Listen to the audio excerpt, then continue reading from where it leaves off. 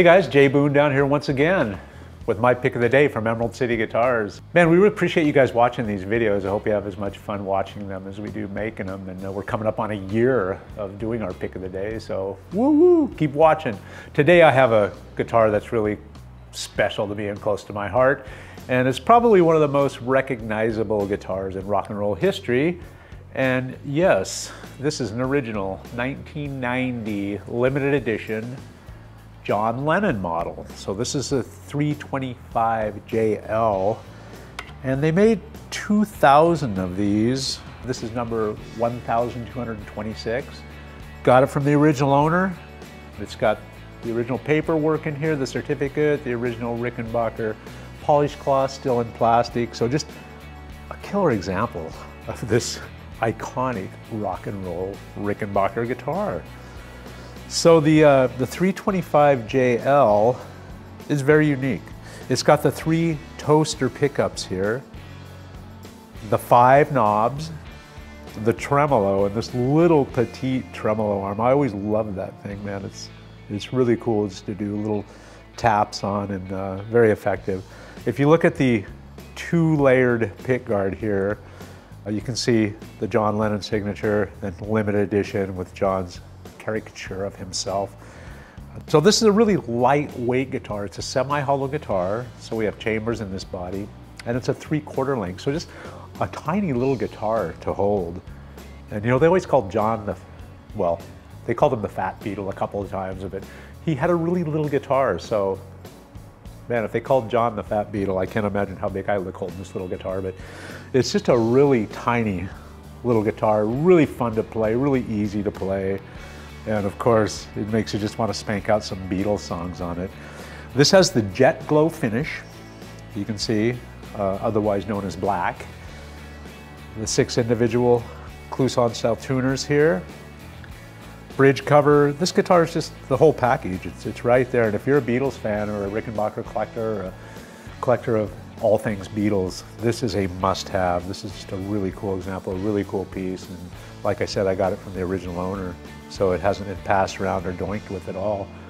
So this has the three position pickup selector switch on there and in the three pickup models, when this is down, you have your bridge pickup on. In the middle position, all three are on. And then on the up position, your neck and middle pickup are on. And those two pickups are wired together so they share a common volume and tone control. And then the bridge position pickup has its own designated volume and tone control. And then the fifth knob is uh, allows you to get a, uh, a couple different variable tone and volume settings by using that in various positions. So kind of a cool deal. Really a versatile and unique sounding guitar. And of course, made in the Rickenbacker factory here in the USA. Comes with the original classic silver Rickenbacker case. I'm going to run it through this very early 1964 Blackface twin reverb.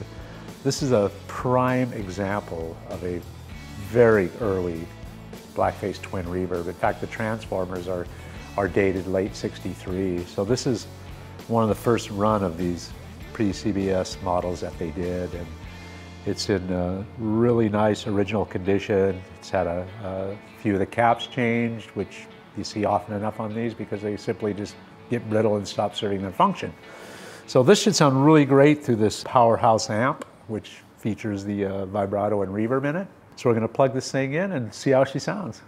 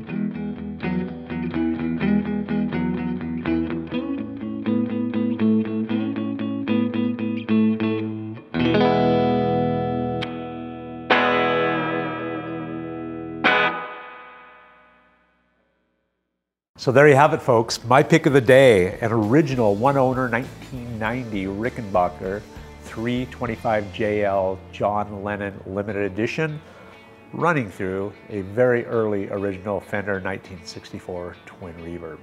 Thanks for tuning in and we'll see y'all next time.